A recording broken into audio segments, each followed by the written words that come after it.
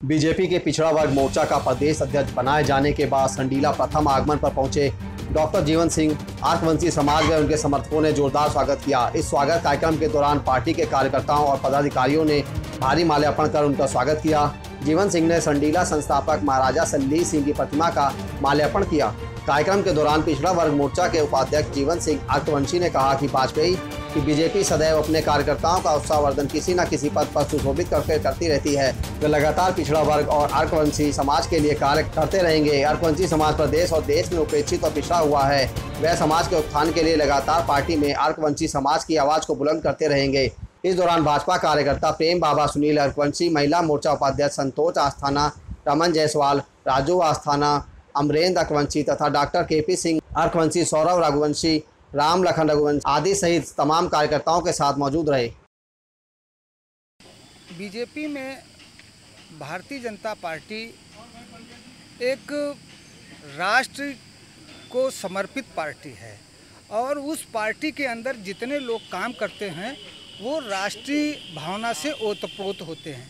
एक चीज़। दूसरी चीज़ एक ये है कि भारतीय जनता पार्टी अपने कर्मठ कार्यकर्ताओं को ही पदाधिकारी नियुक्त करती है। और उसमें ओबीसी मोर्चा, पिछड़ा वर्ग मोर्चा का, उत्तर प्रदेश का हमें उपाध्यक्ष बनाया गया है।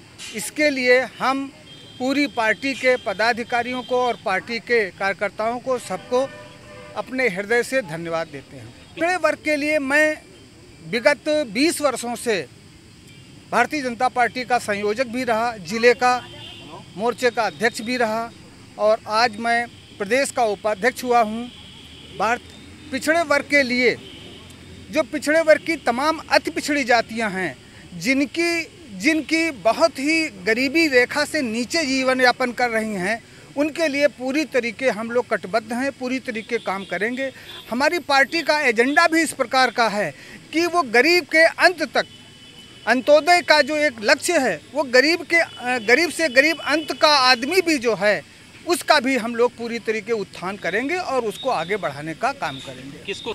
अर्कवंशी समाज पूरी तरीका उपेक्षित है। उसका न कोई आज तक M P M L A हुआ है ना आई एस है न पी सी एस है और यहाँ तक कि वो बहुत ही दीनहीन अवस्था में है। इस अवस्था से उबारने के लिए भारतीय जनता पार्टी जो मुझे प्रशय दे रही है, उसके लिए मैं आगे से आगे बढ़कर काम करूँगा।